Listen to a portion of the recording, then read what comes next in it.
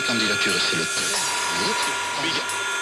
Voilà, oui, mais dans votre esprit, si on